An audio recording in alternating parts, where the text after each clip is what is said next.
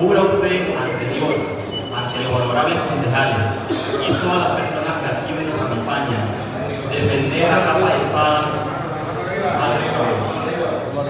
cumplir con todo lo que requiere eh, ser personero para este pueblo, entendiendo que es un reto grande, en el cual necesitamos personas comprometidas para este cargo. Sí juro, señor presidente, honorables concejales y pueblo de Belén de Bajirá.